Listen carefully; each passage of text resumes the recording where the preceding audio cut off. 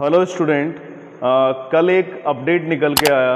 Supreme court में दिल्ली के एक स्टूडेंट ने पीआईएल को दाखिल किया और पीआईएल को दाखिल करने का पर्पज़ यही था कि ऑफलाइन क्लासेस स्टार्ट की जाएँ, बच्चे सारे स्कूल जाना स्टार्ट करें और ऑनलाइन क्लासेस को ऑफ़ किया जाए।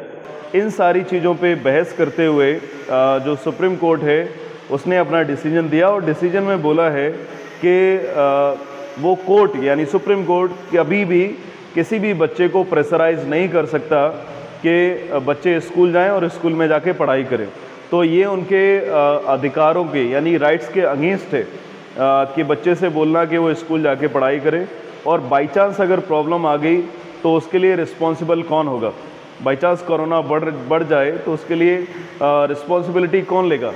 इन सारी चीज़ों को देखते हुए सुप्रीम कोर्ट ने अभी इस कंडीशन को करना, यानी ऑफलाइन पढ़ाई करने के लिए अपनी तरफ़ से जो नेसेसरी कंडीशन है, उसको अप्लाई नहीं किया है। मतलब ज़रूरी नहीं है कि स्कूल जाके ही पढ़ें।